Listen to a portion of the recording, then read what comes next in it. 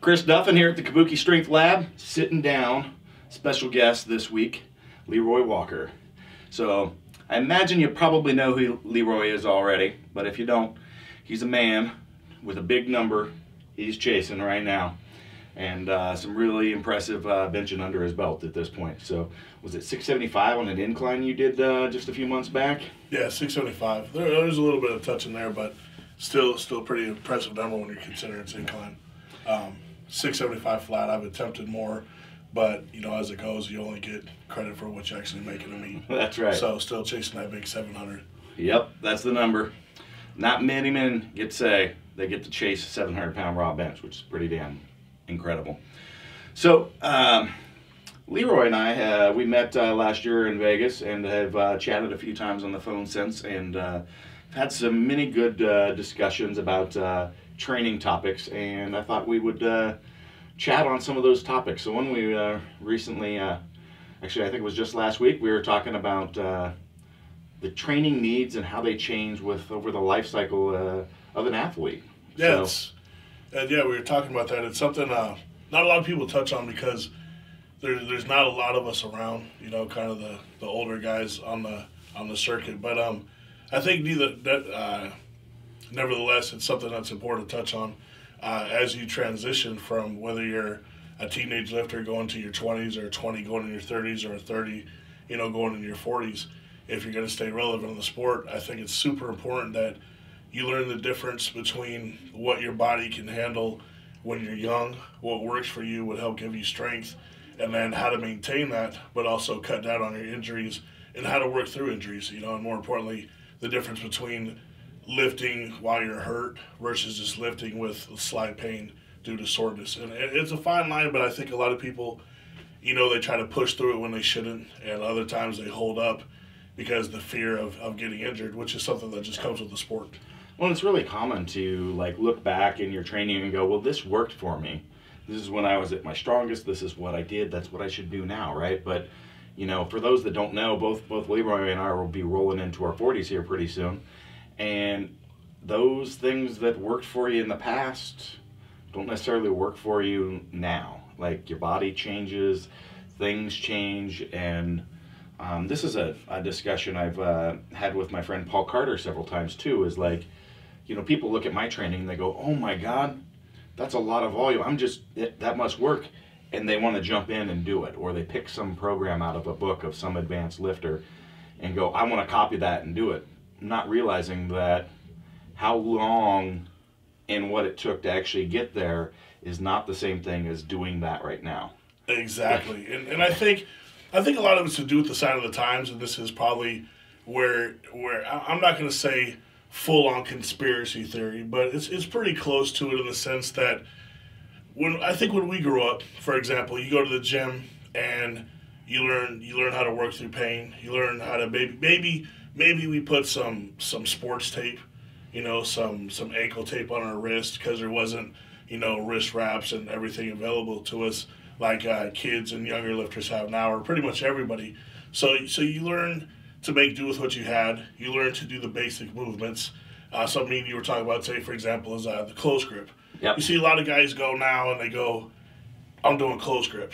Versus when we're, we're brought up, you know, you learn how to lift at junior high. Th- this is close grip. And with that, over time, you develop stronger, stronger triceps, stronger wrists without lifting in all the excessive gear. You just learn how to be a stronger raw lifter. And as you transition to gear, you're still just as strong because your joints have got acclimated to being able to carry the load.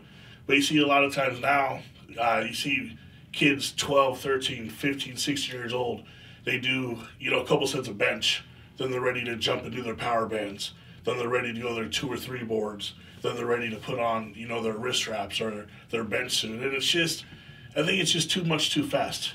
Yeah. People aren't being developed as raw lifters and just it just overall just getting your basic three, your deads, your squats, your bench, and just learning how to be a power lifter, learning how to be just brute strength strong. I think we're getting away from that yeah. in the sport. I, I, think it's you know I always promote being you know analytical and thoughtful with your programming, but sometimes people take it too far, right? Mm-hmm. And I, I think that's what we're kind of talking about there is you know they're just they're trying to make it way too complicated, and I see people They've got the boards and chains and Yeah. I- stuff I use all the time too. But you know, it's it's like, yeah, but you're only benching 150 pounds. Exactly.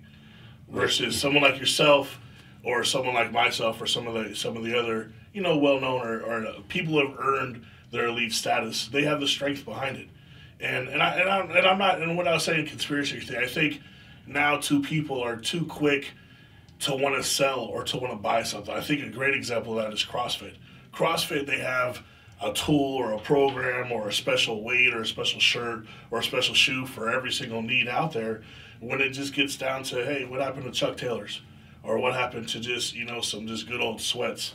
You know, and, and I'm not saying technology is a bad thing. I'm not saying we shouldn't embrace it. I just think sometimes it's too much too fast to the point where we're underdeveloping lifters. We're underdeveloping and taking away from strength programs that have worked. And I and I don't think there's anything wrong with taking strength programs that have worked and stood the test of time and incorporating new technology, like incorporating Yep. the rock or the Duffalo bar, things that are going to enhance your strength. But that's the thing, people aren't they don't have the strength to enhance. They're trying to take a 150 pound bench, throw on a couple bands and chains, and think they're going to be a 315 pound bencher within two weeks because they follow someone's program, who yet they don't understand that's been doing that program for 10 or 15 or 20 years. It, it takes time. That's something I preach to a lot, and, and we we talked about that at lunch too. It's the um, that cumulative like you've got to have a vision. Like this takes such a long period of time to develop strength. Strength training is not one of those sports where you peak at 20 or 21. You know, it it takes a lot of time for that neuromuscular ad- adaptation, the building the mass through the years, and all these things, and and you've you've got to be committed and dedicated and realize that you've got to put in those hours. You got to put in that time. You got to put in those years to to get there and move up in advance. And uh, you know, you're not going to find the super secret trick that takes you adds that, you know, gets you from 150 to 350 pounds like that. You know, we're all looking for that extra five percent. Well, five percent on 150 pounds is not a whole lot. It's not a big bump. Yeah, it's, you're it's gonna, definitely you're gonna add and then move, and those needs over that cycle change. Like what you need to do when you're benching 150 pounds is completely different than what you're going to be doing if you're chasing 700 pounds. Exactly. But it, but it all comes back to what we are saying is the the philosophy behind it. It all starts with getting there and wanting to put in the work, wanting to put in the time, wanting to put in the sweat, wanting to put in the tears, and learning how to lift with adversity. How you go to different meets and different benches are gonna have you're gonna have different setups. Some benches are gonna be wide, some benches are gonna be tall, some some squat racks, you know, you're gonna have a monolift. You might go to another one where you have to take it off the rack. You can't you can't sit there and complain. And I think too many lifters go to meets and expect everything to be as it was at their gym, and they make excuses. And it's it's like you you can do two things, you know. And a lot a lot of people do this. You can either let it be an excuse and it's gonna be this big old fat tire that's gonna go in the trunk and it's gonna weigh you down, or you can turn it into fuel and it's gonna you're just gonna put it in and you're just gonna run with it and you're gonna excel. Now, granted, you might not hit some of the same PRs, you might hit, might not hit some of the same numbers, but it all comes back to your thought process. How how how are you going to react to this? Because you have to react because Yeah. it's not the same. Some people they see it and they can't wrap their heads around it and they get stuck and they make excuses and then oh you know and they're I'll just go to the next meet and then that, that happens again the next one. No, take the onus upon yourself and learn to go to different gyms. Venture out of your comfort zone. Use different different bars. You know, sometimes train on a flat bar. Sometimes train with a Texas. Sometimes train with a Duffalo. Get out of your comfort element so you can get you can learn to go to different meets and adapt to what your your surroundings are. I love those lifters that can't. It's like I, I I've got to go get my song on. Like, Yeah. well, that ain't gonna happen you get on the platform. exactly. You might have you, you might be walking up to the platform and the announcer's saying something just really stupid and asinine that like throws you off your game, and you may. Uh, actually, I've got a funny story. Um, this is back in my uh, multiply days, and uh, I built a monolift, and I didn't have a space for it, so it was in my driveway. And so it's summertime, and we're training in like full campus in briefs, and it's like 105, 106 degrees out, and we're all wrapped. We're putting all our gear on, out there lifting in the sun, and my team's like, "Dude, this is just horrible." And I'm, they're bitching and moaning. I'm like, you should be thanking me because you never know what it's like when you get to a meet. There's so many meets that I've gone to where you know it's in some small cramped space. Yes. The heat is just unbearable. Like all these things, and like you need to be able to perform in this condition. Mm-hmm. This is adversity training. It is, and not a lot. Of, and, and there's simple ways around that. You can either train, train for it, or you can you can do some research. Here's a thought: go to the gym. that the meet's going to be at maybe ahead of time and actually find out what it's going to be like to lift under those circumstances. But so many people get caught up in just doing the day to day grind, going to their gym. And it- it's funny because you see these people, they go to a gym and the gym says the gym. And then the day of they meet, they think it, it says fucking staples, like there's an easy button to push and everything's just going to magically just just happen for them. And no, it takes work Yeah. you know and, and it's and i think the people that can that, like you said can overcome and adapt to the adversity are the people that truly deserve to be champions or deserve to hit their prs and, and if you can't learn to adapt and overcome it if you can't learn that how you train when you're 20 has got to change when you're in your 30s and your 40s because but there's there's benefits that come to it too. I'm not saying getting old is a bad thing because you get naturally stronger. Some things become easier you know and it's but it's just a matter of just working through it. Yep. and not a lot of some so many people they do different hobbies. They okay i want to be a crossfitter and no i can't you know i can't do this circuit. So i'm gonna i'm now gonna be a powerlifter. It's like fucking just just find something and have some good old stick to itiveness Yep. and, and it will pay off and it will get you further and it will transform into real life no matter what you want to do stick to itiveness is is a great thing no matter what profession no matter what sport no matter what hobby you're trying to you know be the best at I preach to that all the time that, you know, being in the gym is practice for life. And that's exactly one of the ways that, right there, right there, what you talk about. We're talking about putting in the work and dealing with adversity. You, you, you know, constantly jumping from, oh, I'm going to do powerlifting, oh, I'm going to do CrossFit, oh, I'm going to be a runner, oh, I'm going to be a rower. You end up going nowhere, right? Mm-hmm. So when you reach that, I, oh, I've hurt myself, or my training is stalled, or wherever, that stick to itiveness that you just said, that training through adversity, like you have to sit down. And actually, I just did my, my training log post on this today, like, mm-hmm. and develop a plan. Like, how do I fix this? I don't just get to give up and go if I unless I want to be mediocre. And I'm gonna go do CrossFit and I'm gonna do that for a year until like Yeah. I'm all rock taped up and not and that isn't working. And then go I'm gonna be a runner and then oh my my Achilles is you know killing me. You know I'll end up still being in the same exact situation 10 years from now than I am right now. Then if I say you know I've got a problem, I'm gonna figure out a way out of this.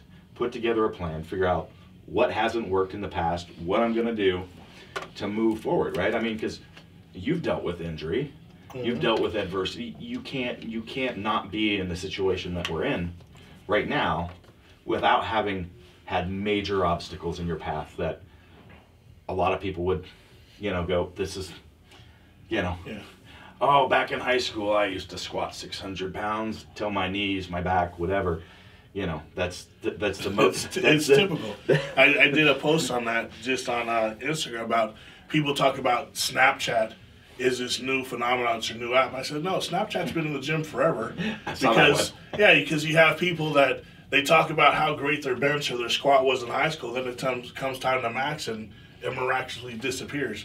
But I, but I back to a little bit about to the not the the conspiracy is, is you have so many people that won't take the honest the onus upon themselves to not only stick with something, just to have just the confidence to be able to go through and say, you know what, whether I sink, swim, or fail or succeed, I'm going to own this and I'm going to do it. So many people want to just put they want to put the blame. They want to always have someone to blame. They, they don't want to say, I want to try to, you know, take a little bit of this, a little bit of that, a little bit of this methodology. I might do some some cube method. I might do some West Side, and I'm just going to kind of make it my own. So many people want to say, hey, you know what? I'm going to hire you.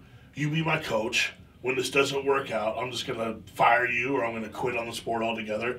And, and it's part of how what we see in society. You see golfers, they don't like their coach. They do away from tennis rather than just having like you know the stick to itiveness and just knowing that there's going to be ups and downs and it, and it comes back to a lot of this what you see is this where people are just undertrained and underdeveloped because people won't they won't look in the mirror and they don't have the guts to critically evaluate themselves You see this all the time, and especially I go to gyms that, especially that are half CrossFit, half powerlifting gyms. And I'm not knocking it. Mm-hmm. It's a great thing for the sport because I think the sports can feed off each other. But, and this happens a lot with when I get asked to help people with uh, bench programs. You go in typical powerlifting gym, they're doing their program calls for squats two to three times a week, calls for deadlift two or three times a week, and they're benching once a week. And I was like, well, that's great, but you're never going to become a great bencher only benching once a week. And you see the underdevelopment where the coaches come in and they tell these kids or they tell these guys or, you know, gals, you know, don't worry about your bench being under 500, Chris, because you squat over eight. You're going to squat nine. Your total is what matters. And yeah, it does matter if you if you lift in all three, but not to the point where you can you can baby one or just say, okay, we're going to ignore that yeah. because we're going to overdevelop this. Same thing with when you go just when you go to a basic gym. You see trainers undertrain people so they can keep them as clients. You see people subscribe programs to people so they can just bring them along at their pace rather than just saying, hey, you know what, we're going to do some some testing, something that you're going to, you know, show me later on about with speed and um, velocity where you can actually get an imprint of what you want to do and you can you know work hard but scientifically get past those sticking get past those break points.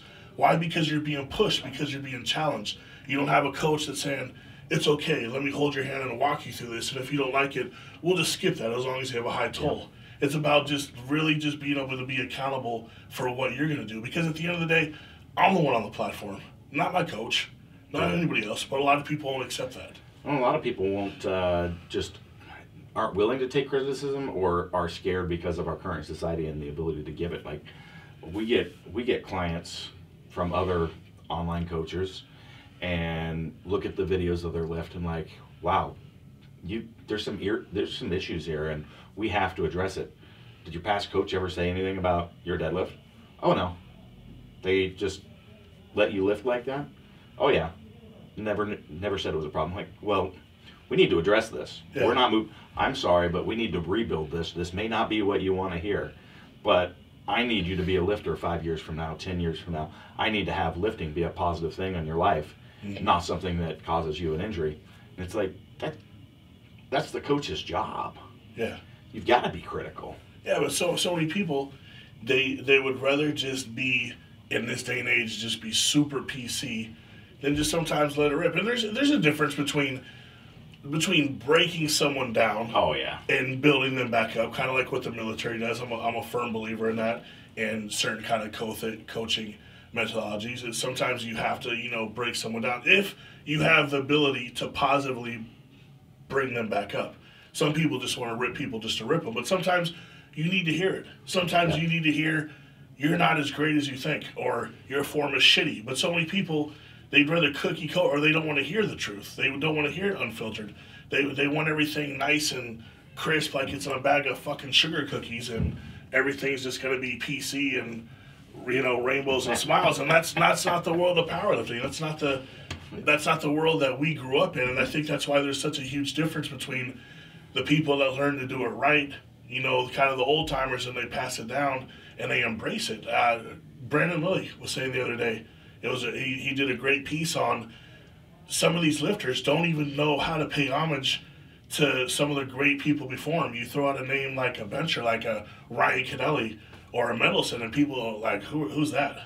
Uh, you know, does, does he work out with CT Fletcher? Does he work out with, with the Hulk? And I mean, it's it's great to have a certain bit of notoriety and a little bit of fra- fl- uh, fame, but and it's something we talked about. You have to. I, I think we need to get back to wanting to build something that stands the test of time, something that builds a legacy rather than just want to do something, you know, for follows or likes and whatnot. I, I know at the end of the day, as much as I post and other stuff, I want to I want to have a legacy.